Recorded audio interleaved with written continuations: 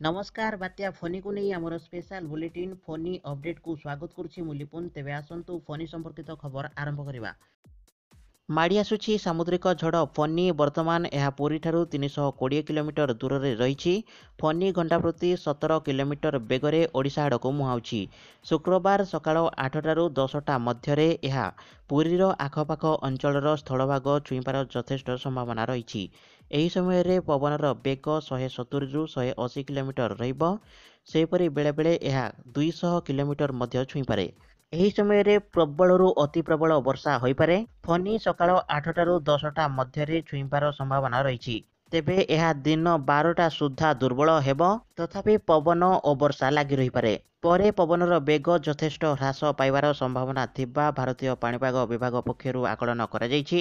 ଅନ୍ୟପକ୍ଷରେ ଫନିର ପ୍ରଭାବରେ ଆଜିଠାରୁ ରାଜ୍ୟର ବିଭିନ୍ନ ସ୍ଥାନରେ ବର୍ଷା ଆରମ୍ଭ ହୋଇଯାଇଛି। ସେହିପରି ଆନ୍ଧ୍ର ଉପକୂଳ ଦେଇ ଫନି ଓଡ଼ିଶା ଆସୁଛି। ତେଣୁ ଆନ୍ଧ୍ରପ୍ରଦେଶର ଶ୍ରୀକାକୁଲମଠାରୁ ଆରମ୍ଭ କରି ବିଶାଖାପାଟନାମ ମଧ୍ୟରେ ପ୍ରବଳ ବର୍ଷା ଆରମ୍ଭ ହୋଇଯାଇଛି।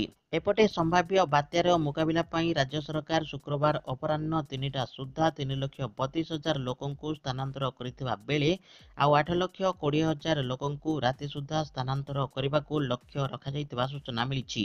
ସାମୁଦ୍ରିକ ଝଡ଼ ଫନିର ମୁକାବିଲା ପାଇଁ ଏସିବିରେ ଚବିଶ ଘଣ୍ଟିଆ କଣ୍ଟ୍ରୋଲ ରୁମ୍ ଓ ହେଲ୍ପ ଡେସ୍କ ଖୋଲାଯାଇଛି। କୌଣସି ଜରୁରୀକାଳୀନ ପରିସ୍ଥିତିରେ ACB control room number zero six seven one two four one four zero eight ଜିରୋରେ ଯୋଗାଯୋଗ କରିବା ପାଇଁ କୁହାଯାଇଛି। ପ୍ରତ୍ୟେକ ବିଭାଗରେ ହେଲ୍ପ ଡେସ୍କ ଖୋଲାଯିବ ଏବଂ ଟାସ୍କ ଫୋର୍ସ ଗଠନ କରାଯିବ ବୋଲି ଗୁରୁବାର ନିଷ୍ପତ୍ତି ହୋଇଛି। ଏନେଇ ଏସିବି ଅଧୀକ୍ଷକ ପ୍ରଫେସର ସି ବି କେ ମହାନ୍ତିଙ୍କ ଚ୍ୟାମ୍ବରରେ ଏକ ବୈଠକ ଅନୁଷ୍ଠିତ ହୋଇଥିଲା। ଏସିବି ଅଧୀକ୍ଷକ ମହାନ୍ତିଙ୍କ ଅଧ୍ୟକ୍ଷତାରେ ଆୟୋଜିତ ବୈଠକରେ ମେଡିକାଲର ସମସ୍ତ ବିଭାଗୀୟ ମୁଖ୍ୟ ପ୍ରଫେସର ଓ ପ୍ରଶାସନିକ ଅଧିକାରୀ ଉପସ୍ଥିତ ଥିଲେ। ବୈଠକରେ ମେଡିକାଲରେ ଲାଗିଥିବା ଜେନେରେଟର ଗୁଡ଼ିକୁ ତଦାରଖ କରାଯାଇଛି। ତେଇଶଟି ଜେନେରେଟରକୁ ପରୀକ୍ଷାମୂଳକ ଭାବେ ଗୁରୁବାର ଚଲାଯାଇଥିଲା। ସେହିପରି କୌଣସି ଡାକ୍ତର ଓ କର୍ମଚାରୀ ହେଡକ୍ୱାର୍ଟର ଛାଡ଼ି ନ ଯିବାକୁ ନିର୍ଦ୍ଦେଶ ଦିଆଯାଇଛି।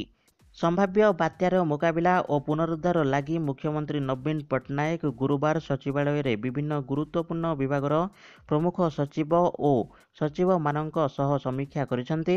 ଏହି ଅବସରରେ ସଚିବମାନେ ସେମାନଙ୍କ ବିଭାଗ ତରଫରୁ ନିଆଯାଇଥିବା ପଦକ୍ଷେପ ଓ ପ୍ରସ୍ତୁତି ସମ୍ପର୍କରେ ମୁଖ୍ୟମନ୍ତ୍ରୀଙ୍କୁ ଅବଗତ କରାଇଥିଲେ। ବାତ୍ୟା ପରେ ତୁରନ୍ତ ପୁନରୁଦ୍ଧାର କାର୍ଯ୍ୟ ଆରମ୍ଭ କରିବାକୁ ମୁଖ୍ୟମନ୍ତ୍ରୀ ପରାମର୍ଶ ଦେଇଥିଲେ। ଏହାଛଡ଼ା ମୁଖ୍ୟମନ୍ତ୍ରୀ ରାଜ୍ୟରେ କାର୍ଯ୍ୟ କରୁଥିବା ସମସ୍ତ ଟେଲିକମ୍ ସର୍ଭିସ ପ୍ରୋଭାଇଡରମାନଙ୍କ ସହ ସେମାନଙ୍କ ପ୍ରାକ୍ ପ୍ରସ୍ତୁତି ସମ୍ପର୍କରେ ଆଲୋଚନା କରିଥିଲେ। ସମସ୍ତ ପ୍ରକାର ପରିସ୍ଥିତିରେ ଟେଲି ଯୋଗାଯୋଗ ଅବ୍ୟାହତ ରଖିବା ଲାଗି ସେମାନେ ପ୍ରସ୍ତୁତ ଥିବା ମୁଖ୍ୟମନ୍ତ୍ରୀଙ୍କୁ ଅବଗତ କରାଇଥିଲେ। ସେହିପରି ଫନିକୁ ନେଇ ପ୍ରଧାନମନ୍ତ୍ରୀ ନରେନ୍ଦ୍ର ମୋଦିଙ୍କ ମଧ୍ୟ ସମୀକ୍ଷା ବୈଠକ ଗୁରୁବାର ପ୍ରଧାନମନ୍ତ୍ରୀ ନରେନ୍ଦ୍ର ମୋଦି ଏକ ସମୀକ୍ଷା ବୈଠକରେ ଫନିର ମୁକାବିଲା ପାଇଁ ଆଲୋଚନା କରିଛନ୍ତି। ତେବେ ପ୍ରଧାନମନ୍ତ୍ରୀ ମୋଦି ଯେଉଁ ବୈଠକ ଡାକିଛନ୍ତି ସେଥିରେ କ୍ୟାବିନେଟ୍ ସଚିବ ପ୍ରଧାନମନ୍ତ୍ରୀଙ୍କ ସଚିବ ପ୍ରଧାନମନ୍ତ୍ରୀଙ୍କ ଆଡିସନାଲ ସଚିବ ସ୍ୱରାଷ୍ଟ୍ର ସଚିବ ଆଇଏମ୍ଡି ଏନ୍ଡିଆର୍ଏଫ୍ ଏନ୍ଡିଏମ୍ଏ ଓ ପିଏମ୍ଓର ବରିଷ୍ଠ ଅଧିକାରୀମାନେ ଉପସ୍ଥିତ ରହିଥିଲେ। ବୈଠକରେ ମୋଦି ପ୍ରଭାବିତ ହେବାକୁ ଥିବା ରାଜ୍ୟମାନଙ୍କ ସହ ଯୋଗସୂତ୍ର ସ୍ଥାପନ ରଖିବାକୁ କହିଛନ୍ତି ସେହିପରି ପ୍ରଭାବିତ ଅଞ୍ଚଳର ଲୋକଙ୍କୁ ସମସ୍ତ ପ୍ରକାରର ସହଯୋଗ କରିବାକୁ ନିର୍ଦ୍ଦେଶ ଦେଇଛନ୍ତି। ଶୁକ୍ରବାର ଦିନକ ପାଇଁ ସମସ୍ତ ଇଣ୍ଡିଗୋ ବିମାନକୁ ବାତିଲ କରାଯାଇଛି। ଫନି ପ୍ରଭାବରେ ପବନର ବେଗ ଘଣ୍ଟାକୁ ଶହେ ସତୁରିରୁ ଶହେ ଅଶୀ କିଲୋମିଟର ରହିବ। କେତେକ ସ୍ଥାନରେ ପବନର ବେଗ ଘଣ୍ଟାକୁ ଦୁଇଶହ କିଲୋମିଟର ରହିବ। ଏହାକୁ ଦୃଷ୍ଟିରେ ରଖି ଭୁବନେଶ୍ୱର ଏୟାରପୋର୍ଟକୁ ଆସୁଥିବା ଏବଂ ଯାଉଥିବା ଇଣ୍ଡିଗୋ ବିମାନକୁ ବାତିଲ କରାଯାଇଥିବା ସୂଚିତ କରାଯାଇଛି। ବାତ୍ୟା ଫନି ଭୟଙ୍କର ହେବାର ସମ୍ଭାବନା ରହିଛି। ଏଥିଯୋଗୁଁ ଇଭିଏମ୍ ଥିବା ଷ୍ଟ୍ରଙ୍ଗରୁମ୍ ଗୁଡ଼ିକରେ ଇଭିଏମ୍ ଗୁଡ଼ିକ କାଳେ ଭିଜିଯିବ। ସେ ନେଇ ନିର୍ବାଚନ କମିଶନଙ୍କ ପକ୍ଷରୁ ଆବଶ୍ୟକ ପଦକ୍ଷେପ ନିଆଯାଇଛି। କମିଶନଙ୍କ ନିର୍ଦ୍ଦେଶ ଅନୁସାରେ ରାଜ୍ୟ ମୁଖ୍ୟ ନିର୍ବାଚନ ଅଧିକାରୀ ଗୁରୁବାର କେତେକ ନିର୍ବାଚନ ମଣ୍ଡଳୀର ଇଭିଏମ୍ ଗୁଡ଼ିକୁ ତଳ ମହଲାରୁ ଉପର ମହଲା ଓ କେତେକ ସ୍ଥଳେ ଅନ୍ୟ ସ୍ଥାନକୁ ସ୍ଥାନାନ୍ତର କରାଯାଇଛି। ମୁଖ୍ୟ ନିର୍ବାଚନ ଅଧିକାରୀଙ୍କ କାର୍ଯ୍ୟାଳୟ ସୂତ୍ରରୁ ମିଳିଥିବା ସୂଚନା ଅନୁଯାୟୀ ମୋହନା ଶହେ ଛତିଶ ଏବଂ ପାରଳାଖେମୁଣ୍ଡି ଶହେ ସଇଁତିରିଶ ବିଧାନସଭାର ଇଭିଏମ୍ ଗୁଡ଼ିକ ଏମ୍ଆର୍ ବାଳକ ଉଚ୍ଚ ବିଦ୍ୟାଳୟରୁ ପାରଳାଖେମୁଣ୍ଡି ଜିଲ୍ଲାପାଳଙ୍କ କାର୍ଯ୍ୟାଳୟକୁ ସ୍ଥାନାନ୍ତର କରାଯାଇଛି।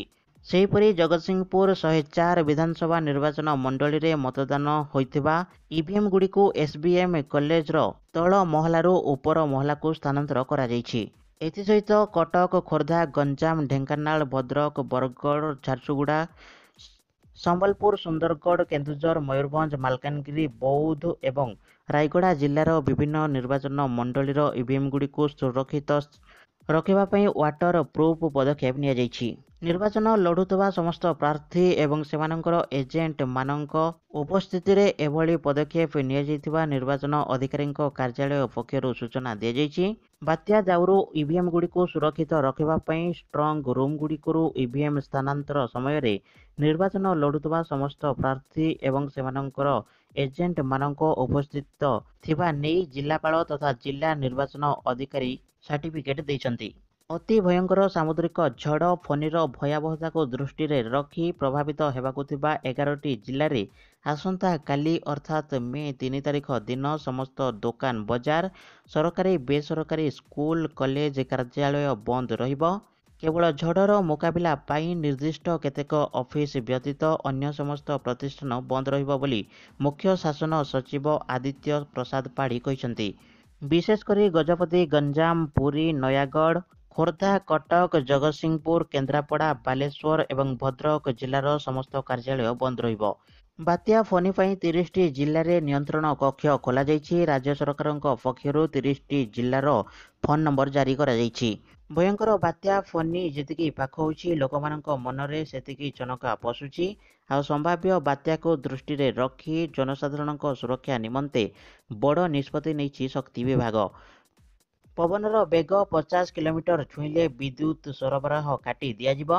ଏହାପରେ ବାତ୍ୟା ପବନ କମିବା ପରେ ସବୁ ଅଞ୍ଚଳକୁ ତନ୍ନ ତନ୍ନ କରି ଯାଞ୍ଚ କରାଯିବ। ଯାଞ୍ଚ ପ୍ରକ୍ରିୟା ଶେଷ ହେବା ପରେ ଆବଶ୍ୟକ ସ୍ଥାନରେ ମରାମତି କରାଯିବ ଏବଂ ଏହାପରେ ବିଦ୍ୟୁତ୍ ସଂଯୋଗ ଦିଆଯିବ। ଏନେଇ ଶକ୍ତି ବିଭାଗ ସଚିବ ହେମନ୍ତ ଶର୍ମା ସୂଚନା ଦେଇଛନ୍ତି। ତେବେ ଫନି ସମ୍ପର୍କିତ ଅପଡେଟ୍ ଥିବା ଆମର ଏହି ସ୍ପେଶାଲ ବୁଲେଟିନ୍କୁ ଏଇଠି ରଖୁଛୁ। ନମସ୍କାର।